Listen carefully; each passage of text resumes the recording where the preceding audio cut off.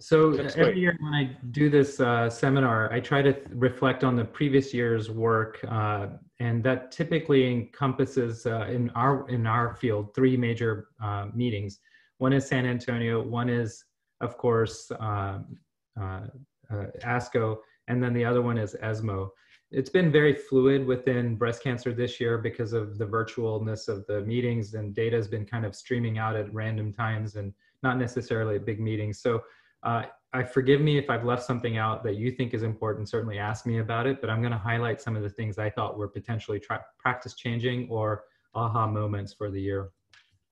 A quick uh, note on disclosures. Uh, I do have several relationships and I will point one out later on again as I discuss some of the data from one of these companies.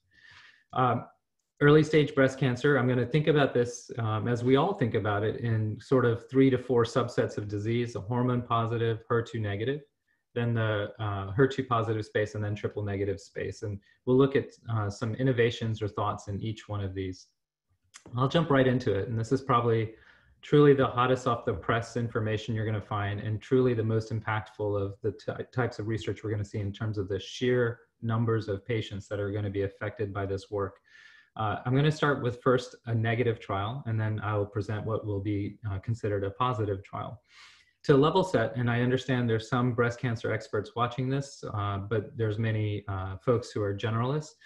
Uh, I think most of you will know at this point that in early stage uh, breast cancer, people still have recurrences. Our job is not done. So when we look towards the metastatic setting, we have had this uh, truly in uh, humongous innovation in terms of CDK4 inhibition we know now that it's uh, more than just standard of care, but life-saving for patients who are uh, diagnosed with early stage uh, with metastatic breast cancer that's hormone receptor positive and HER2 negative to somehow incorporate a CDK4/6 inhibitor. There are three of these molecules on the market: abemaciclib, uh, palbociclib, and ribociclib. Uh, they have slightly different chemical structures and slightly different in, uh, ability to inhibit their targets, either CDK4 and CDK6. But for the a large part, when you look at the data, in like versus like studies, the hazard ratios for these drugs when combined with endocrine therapy versus endocrine therapy alone, that can be either an aromatase inhibitor, tamoxifen, or even uh, drugs like fulvestrant, the hazard ratios are very consistently about the same. And, and, uh, and now we're starting to see early data suggesting overall survival benefit in a variety of different contexts. This has, of course, led to the FDA approval of all three of these agents in a variety of different contexts in that setting. Uh, in general, the drugs have an acceptable toxicity profile. So whenever drugs look that beneficial in the metastatic setting and look safe, our job is then to see if we can find a role for them in early stage setting. So this is the first of these trials. There's three gigantic trials being done. Two of them have now been presented. It's a randomized phase three trial of palbociclib with endocrine therapy. It was presented by Erica Mayer uh, in Berlin while she was in Boston virtually uh, two weekend, two or three weekends ago. So this is the study, and I'm going to highlight a few features of this study. It's a stage two. Uh, uh, they generally invited stage two to three patients. Um, many of them had completed prior therapy and were at the time of um, randomization had gone through the bulk of their therapies, kind of when we all typically start endocrine therapy within six months of that uh, other therapy. Uh, they all had to have blocks because there was something called the TransPALLAS study to do downstream um, correlative analysis. And then there were some stratification features, as you can see, and we'll focus on that a little bit. It was a one-to-one study, a very simple trial. Arm A uh, was with the investigational agent plus endocrine therapy on a monthly cycle with three weeks on, one week off. So this is a very conventional way in which we use this drug. And arm B was endocrine therapy alone. And you can see uh, there was some latitude in terms of what the endocrine therapy could be. Overall, the primary endpoint was invasive disease-free survival, although a number of other endpoints were baked into the, to the analysis. So the trial accrued pretty quickly for a large trial, uh, and they, you know, Erika point and Dr. Mayer pointed out that they generally focused on higher stage disease and had received prior chemotherapy. They, by their uh, sort of metrics, qualified folks as having 60% of them having clinical high risk disease with either more than four lymph nodes involved, or if they had one to three lymph nodes, they had T3 or T4 disease or grade three disease. So if you look at this, it is one of these studies that we would candidate qualify as well balanced. But if the devil's in the details here, so I will point out that a fair number of the patients, over half of, about half of them, or more than half, were N0, N1, and then a fair number of the patients, more than half of them, again, were T0 to, uh, sorry, T0 to T2 disease. And I know that we can qualify these folks as having clinical high risk disease, but we know from other studies, such as the MINDACT trial, that maybe 40 to 45% of these folks really actually have low risk disease based on molecular uh, biomarkers such as gene expression assays. So already, even though they've classified these patients as having clinical high risk disease, the biology underlying these diseases could be a little bit more mild. And, and we're not really capturing it because of the way the, the study was um, designed and run together. I'm just uh, laying down some crepe for later that'll, that'll become relevant. So at the interim analysis two, uh, they had 351 invasive disease uh, uh, free survival events, and that was what they were looking for. But unfortunately, there was a futility boundary that was crossed. Uh, they stopped the trial. Folks that were still on Palbo were removed, and then they're now everybody's moved into long-term follow-up. So what does the curve look like? Um, one of my dear colleagues, uh, Keith Van uh, Keith uh, Eaton, uh, lung cancer thoracic oncologist, would say this line, these lines are so close together, you can't get a piece of paper between them, and that's essentially what we're seeing here. The invasive disease-free survival, but also the distance relapse-free survival, there's no discernible difference. Uh, when you look at the, the actual rates, 88, 88% for this endpoint, 89, 90% for this endpoint, um, and um, there's nothing more to say. This is at uh, 24 months of follow-up and there's no significant difference at this point, and it's unlikely that any significant difference would ever appear in this particular trial. So that's the PALLAS study. And when you look at the different subgroups to see if we can figure out if there was a group that benefited more than another, at least based on these clinical factors, there is none. All these lines are very close to unity in this forest plot, and they all uh, widely cross that barrier. So there's no subgroup that was identified as um, any signal, at least based on clinical parameters. As I suggested, uh, they do have this trans-PALLAS study, and I suspect they'll start um, looking more deeply at the tissues to see if there's some other molecular markers that might determine some hint of benefit for some group but then that would only be hypothesis generating at this point and not really lead to any um, opportunities for palbociclib in this space until additional studies were done. So this is the, the data for PALLAS and palbociclib. But then at the same meeting, uh, this data was presented and was then co-published the same day in the JCO with abemaciclib in essentially a very similar study design, but with a very different study population. So let's look at this a little bit more carefully. So again, hormone receptor positive, HER2 negative, may characterize high risk as more than four lymph nodes positive, or if you had one to three lymph nodes positive, one of the following had to be also the case. So T3, grade three, and then this is a bit problematic because they wanted centrally tested Ki67 of greater than 20%, and I'll touch base on that again. These are some other characteristics. They were finished most of their therapies in the other study and then uh, randomized one-to-one, so a very clean study.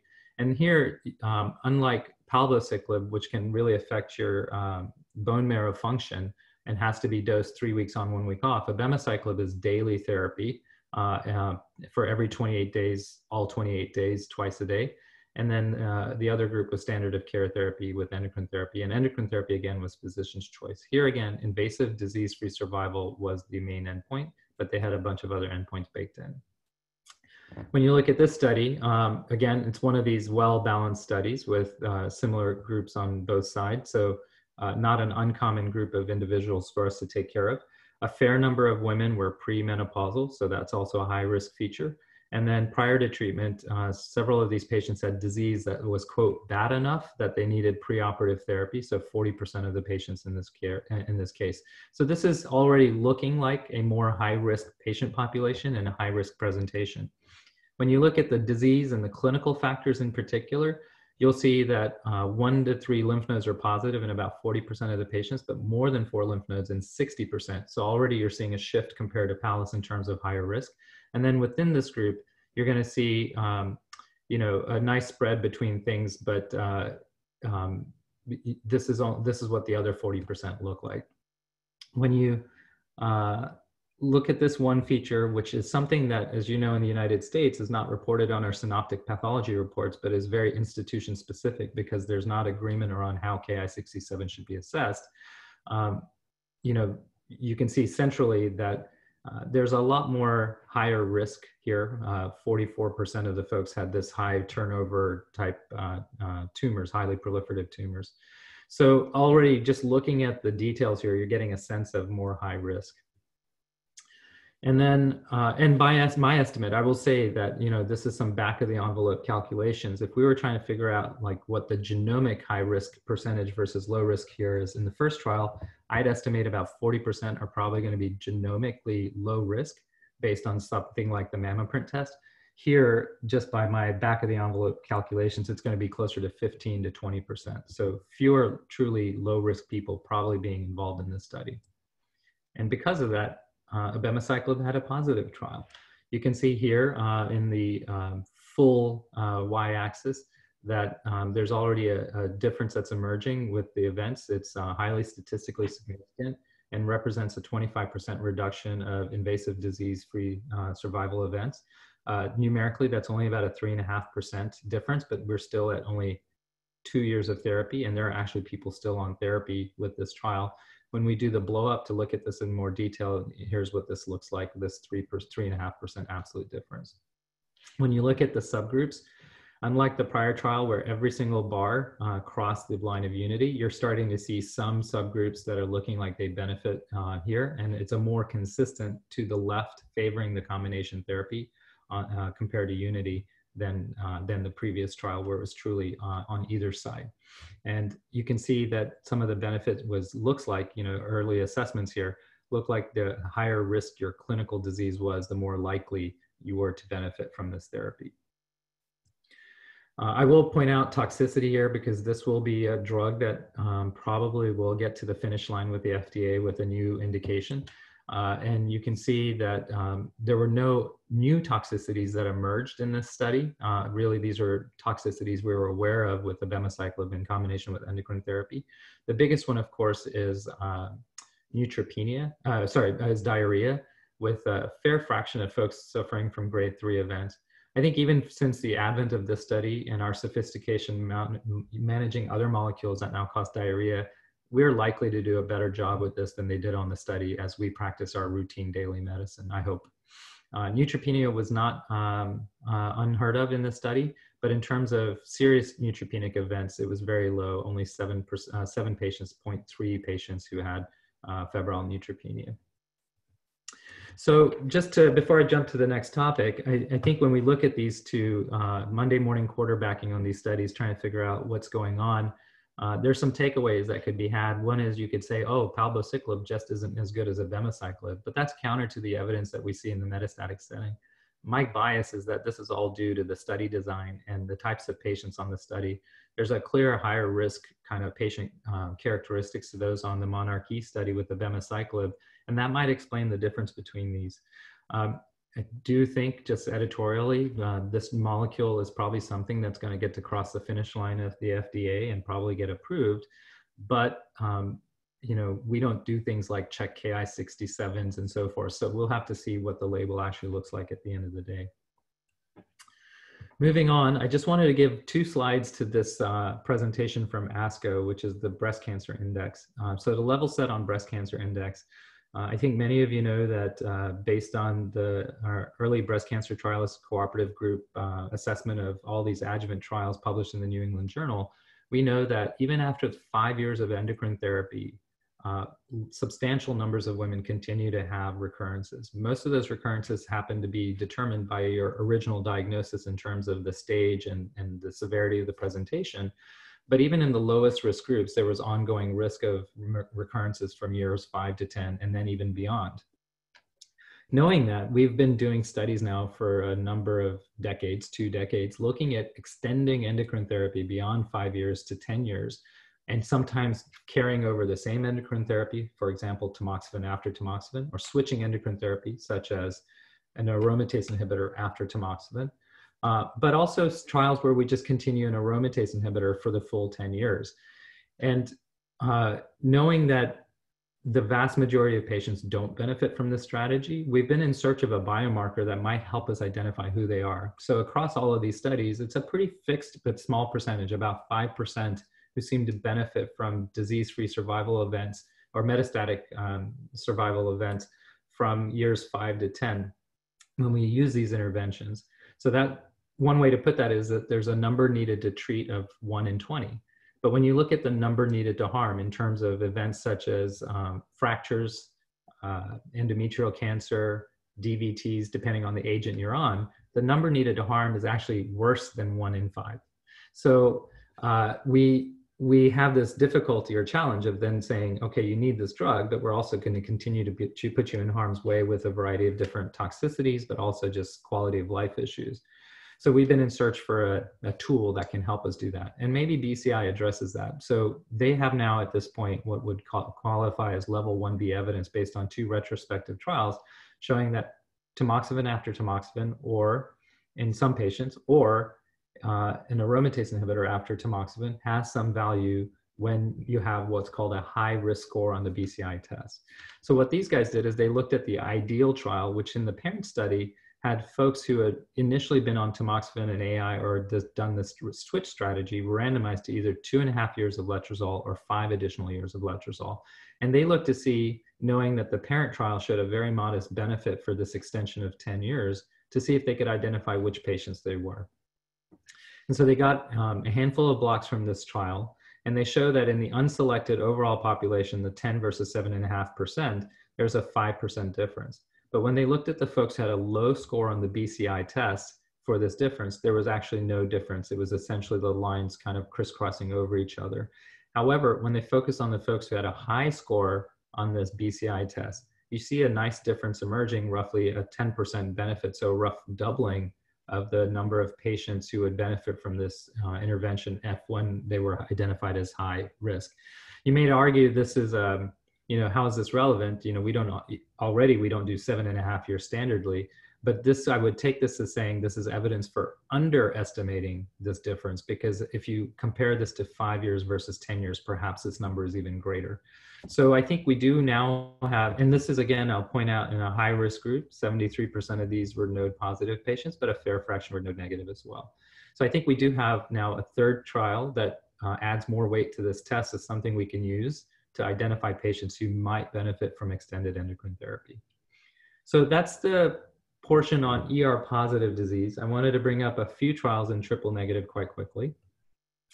This is another study presented by a Chinese group at ASCO this year looking at capecitabine as adjuvant therapy in triple negative disease specifically.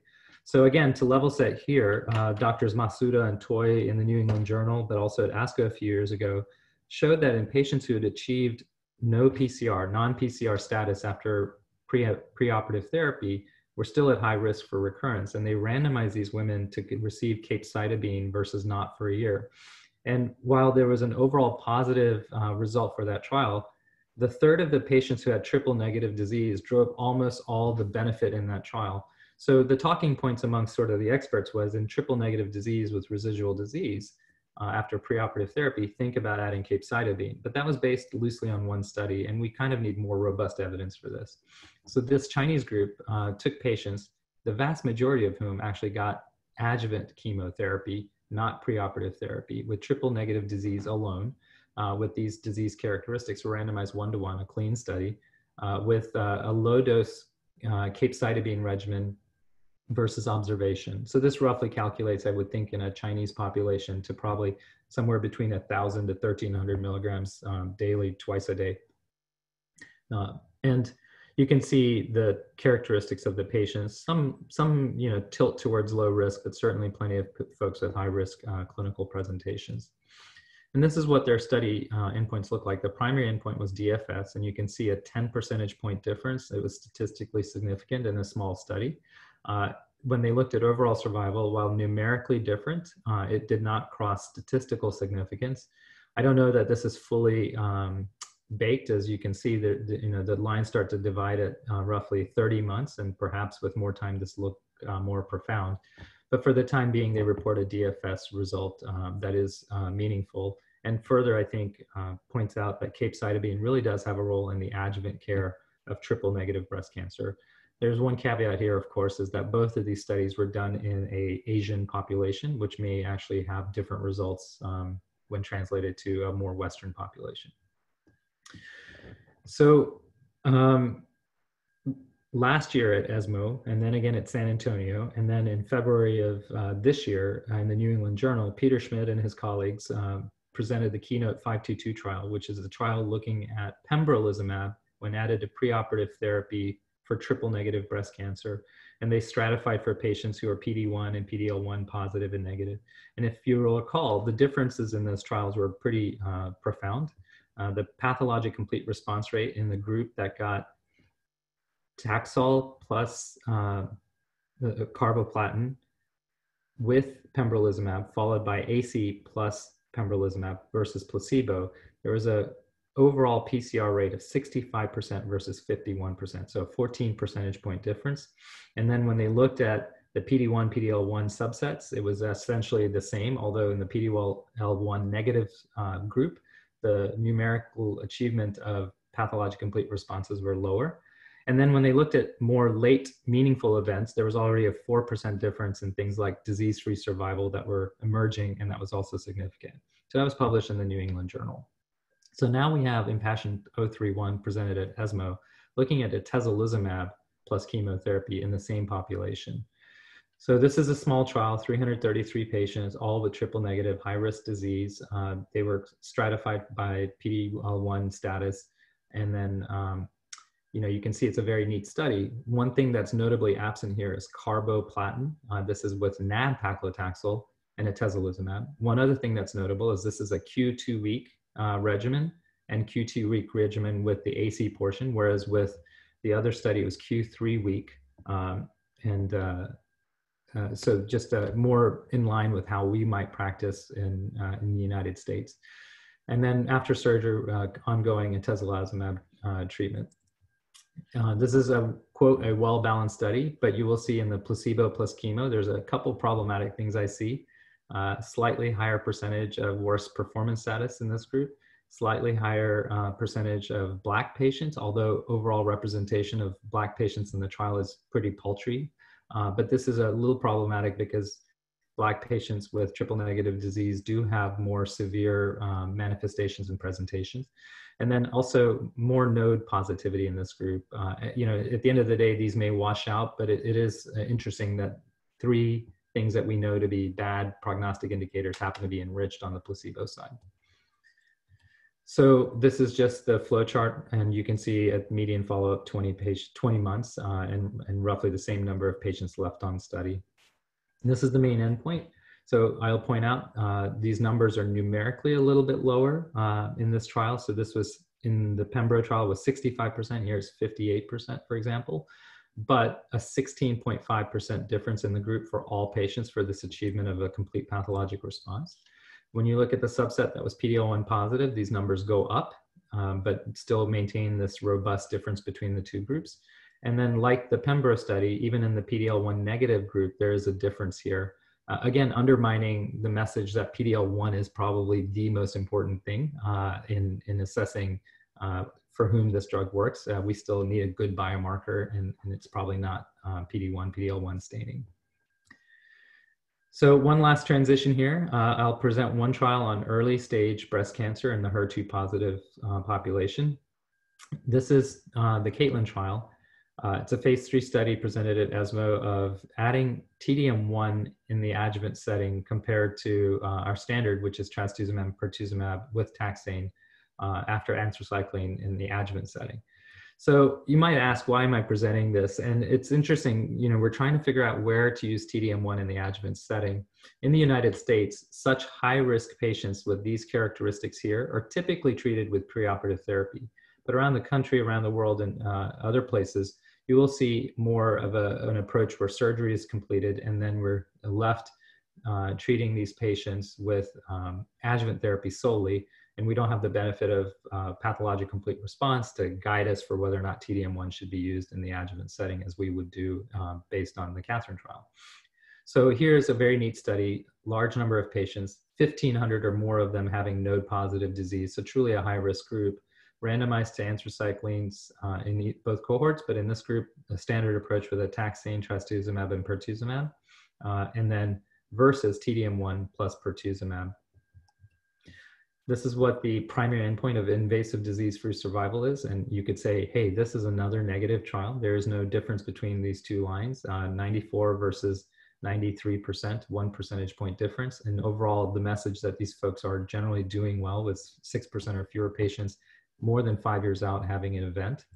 Uh, but you can look at this uh, quality of life uh, issue here, which is once patients had completed anthracyclines and baselines were set at 1.0 for uh, proportion of folks having any deterioration of function, you can see there's an initial rapid deterioration, but then the lines separate. And for all points going forward, as far as three years out, you're seeing a difference between the tolerability and, and uh, performance of patients who are randomized to uh, or TDM1 plus pertuzumab. And this is also observed for physical functioning, role functioning, and cognitive functioning. So we have a drug here that while it doesn't push the envelope in terms of efficacy, it's clearly uh, easier to be on uh, according uh, to this study and, and these patient uh, assessments of function. So takeaways from Chicago and Berlin and all, all done virtually from home. CDK4/6 inhibitors plus endocrine therapy may have a role in the prevention of IDFS events in early stage breast cancer. Right now, it looks like abemaciclib is the winner, but is it really true that it's a better molecule? My bias is that it's probably the study. Uh, PALLAS honestly had probably too many low risk patients, and uh, obviously they're going to continue to analyze those specimens from both trials to see who is most likely to benefit especially in the setting of having modern molecular markers such as gene expression profiles to help guide that, so something along the lines of uh, MammaPrint, for example. I do think BCI is an emerging role, but maybe an established role as an assay for uh, considering extended endocrine therapy. I will note that I've spoken for this company before, so please keep that in mind as I make that statement. Impassion 031 confirms improvement of PCR endpoints with a checkpoint inhibitor. In this case, it's a atezolizumab here misspelled but also I think we're seeing with the pembrolizumab. There's again devil in the details in terms of the study design, but here you have a situation where regardless of the changes and differences in study design, we're seeing very similar findings. So this uh, makes me more confident that a checkpoint inhibitor may have a role in early stage triple negative breast cancer. And then finally, I think we have uh, further evidence that capecitabine is, does have a role as an adjuvant therapy for triple negative breast cancer and sets a benchmark against which we should compare our other therapies. And then finally, TDM role, question mark, question mark, question mark, another role in adjuvant therapy to spare toxicities.